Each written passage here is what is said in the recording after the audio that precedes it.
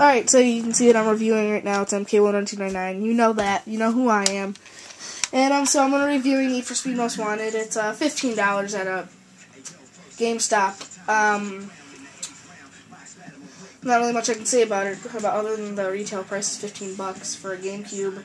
This is the GameCube version. Um, it's on Xbox, Xbox 360, PS3, and um, PlayStation 2. So, okay, here's your main mode, the career. Um, okay, so you have the option of start a new career, load, or resume. I'm just going to resume. So, these are my cars I created in career mode. Um, these, these, you can only play if these ones in um, you can play if these ones in career mode and in a race mode. I'll show you race mode in a minute. But I have eight. I have eight of them. Um, you have I have the Fiat. I have the Punto. I believe it's called. Uh, the Cobalt, the Chevy Cobalt. Um, that's the secret car. That's the final car you get.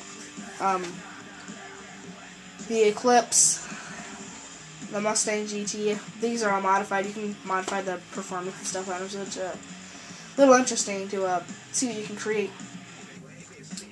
Um, my Corvette and uh, my Ford GT. Alright, so I'm gonna play with my uh, Mustang GT. On. So you can resume free mode. I'll show you that. But here, here's where it's all mainly all at. Here's the. Okay, so here's how it goes. You beat all these guys. These are basically the blacklist members because this guy jacked your car. He stole it, and you gotta get it back by getting number one on the blacklist to take him on. So you gotta kill all these people. The not kill, but beat all these people in races in order for them to challenge you. You um. You got to you know. You gotta you gotta beat the race wins, which obviously examples. Then there's the milestones where you have to do certain things when you're in a pursuit, and then you have to hit bounty, which is like your pursuit money. It, it's, it's different than cashes, trust me. There's also cash which you use to buy stuff with. And um, you know, you have you know they tell you they explain it in the first guy. First guy's Sonny, second guy is Taz, uh, third person is Vic, uh, fourth person is Izzy, uh, eleventh person Big Lou. Okay. Alright, that's I can't really say more about that. Um, uh, Alright, so I'll show you. A, let's do a race for you. There's a whole bunch of race modes too. There's you have the speed trap, which means you just got to get clocked at a certain amount of speed. Then you have the lap knockout, where to finish last in the lap, you get kicked out. You have the toll booth, which you have to run from area to area real quick in a certain amount of time. Others, the sprint and the circuit, um, are pretty much the same thing. The only difference is that the sprints they are uh, they don't go around in circles. You just go one way around. You don't even come back to that spot. in the circuits, you just go round and round for a couple of laps. All right, so I'm, I'm just gonna do a, a let me see. I, want, I don't want to do. I'll show you a pursuit too. All right. Okay, so here you go. These, uh, there's a whole bunch of different controls you can decide to. This is the fifth control option. I like it where A is my accelerator, so it usually comes, I believe, as R is your acceleration, but uh, I'm not sure. But um, it controls pretty nicely no matter what you use. I just prefer it like this.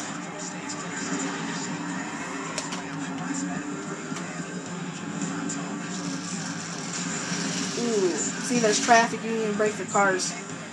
There's a lot of shortcuts too, so there's so just because you're losing doesn't mean you can be able to catch up. There's a lot of ways to come back. Whether you use nitrous. By the way, nitrous doesn't come stock. You got to modify your car just to let you know that. A lot of people assume that you get nitrous right away. Nope. There's also different levels of nitrous, which is pretty cool. Um, different levels of everything. There's usually there's a obviously there's race pro, super pro, and ultimate. Ultimate has like the best of everything. You have the ability to modify your engine, your transmission, your nitri- your nitrous, your um, um, your brakes, and your turbo and uh, your suspension. And um, you know. And there's also your heat level, which you look by the map, you might see a level 1. That means like how mad the cops are at you, basically. So in level one, they barely do anything. They send little civics after you, which they don't do much. Then in level two, they do a little bit more work. They start using roadblocks, and they, and they use undercover civics. There's a civic right, uh, cop right there. Watch this. Just hit him. And then when you get to level three, I believe um, HSV vehicles chase after you. They use roadblocks. There's basically uh, not much different than a Then um, level two, just faster cars. And then level four, they start using spike strips and the helicopters, and they use undercover um, HSVs. And um, level five, they use Corvettes, which uh, they use everything they can at you. They use uh, Rhino units. They use uh, you know whatever they can get their hands on to get you.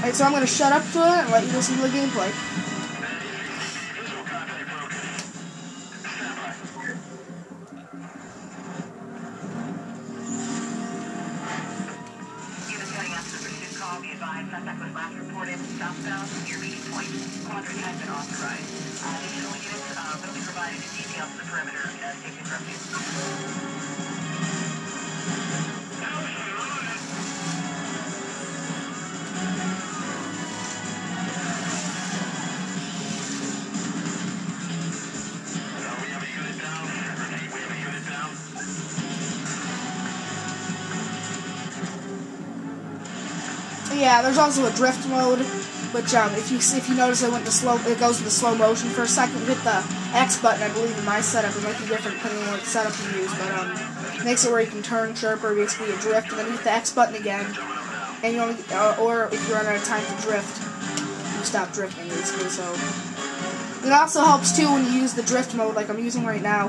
Is when you're about to, when you're um, like in level four or five, you don't want to get hit by a spike strip. So before, for a roadblock, you can hit the slow mo button, the drift button. You can also go in slow motion like this with the same button. And um, and I believe I finished last. Yep. So now I'm in a pursuit. And whoops. Yeah, you, yeah, the, they have to turn on the autosave feature, so in case I forget to save or whatever. Watch this. It's fun. You can actually kill the cops. Literally, you can kill them. Not kill them, bring the car down.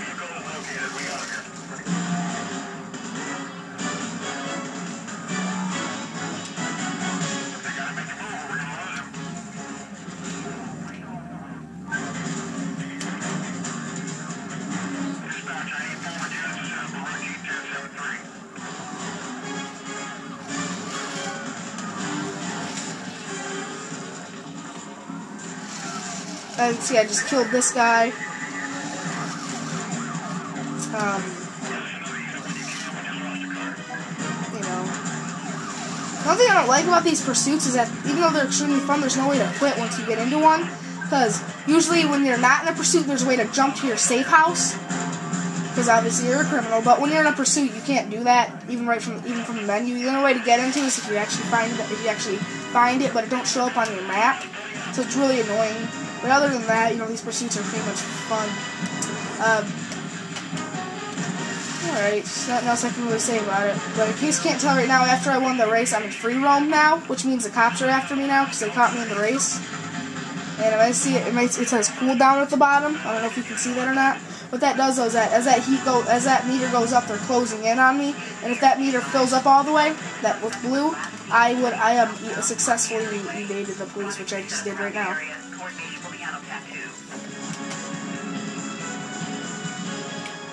Alright, so I think I showed you enough of the free roam and the racing. So now I'll show you I'll show you something else. Alright, so here's the main menu. Oh, you have the, uh, I showed you career, there's a challenge series, which is just a whole bunch of challenges. Quick race, and my cars. Uh, the options, there's really not much to do with them. So here's my cars I created. These are the, I cannot use these in career mode. These are ones I made only for race mode. You can make 20 of them. Up to 20 of them. I, have 20. Um, I'm not going to show you the car customizer, but basically what you do, you can choose a paint job, the anything visual, you can choose your parts, you can use your spoilers, your rims, the color of your rims, um, uh, pretty much everything. You can choose your engine, your transmission, your nitrous shots, or uh, whatever you want to do. But uh, you can this is how you modify. You can modify them right from here. And I'll show I'll show you I'll show you the customized thing. So you get the body kit, which see how the body changes. You can get different bodies for each car.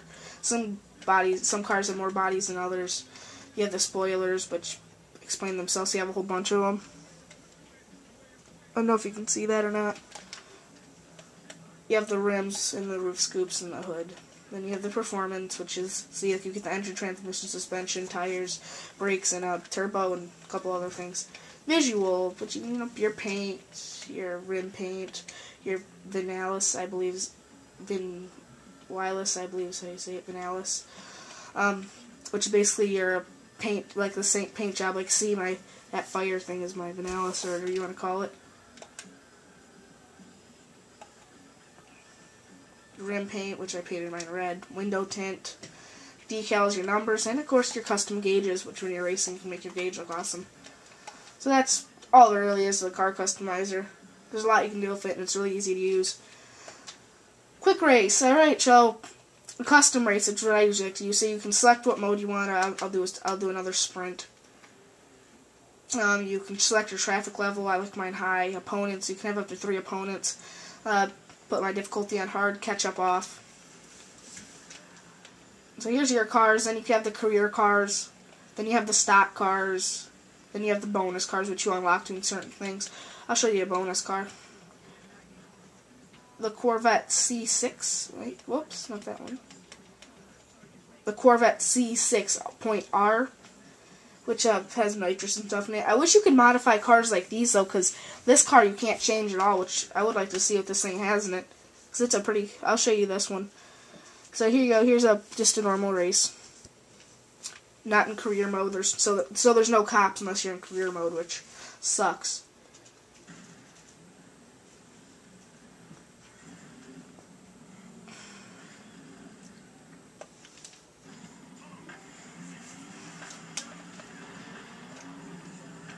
And see I'm using nitrous right now because my rear lights are on. They bright up light like that. They leave laser trails behind You're using nitrous.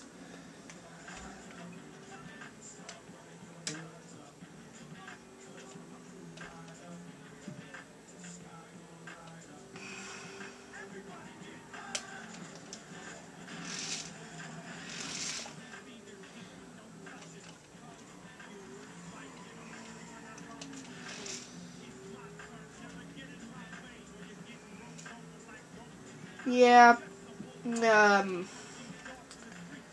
You know, it's pretty fun. You know, you can have some. You can have up to four people playing a few, three, three extra people playing a few. Wish you could have eight racers like you did have in Hot Pursuit. Um, I, I think Hot Pursuit's a little better than this game is, and I'm, I'm gonna get a whole bunch of hate mail saying you're crazy and you know all that stuff. But you know, come on, people. I I like the more simulator type of games. This isn't this isn't so much a simulator if you ask me. Um, doesn't feel as realistic as Hot Pursuit did.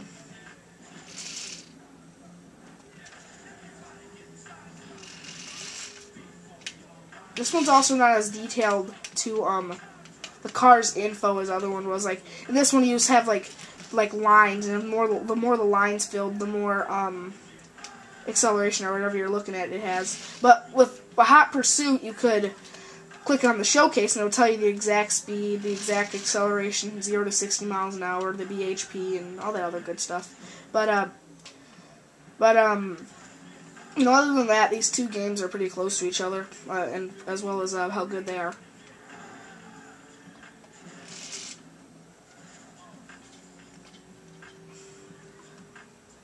Alright, so as you see here, I just won a race and I, if my top speed is 157 miles an hour. Hmm. Well, then you have the two-player mode, and there's a quick play which randomly picks a car and a track for you in mode. Well, is there anything else I can say about this game? Um, no, not really. But um, I do recommend it. Next review is going to be uh, Need for Speed Carbon. Uh, thanks for uh, watching. MK11299 is out.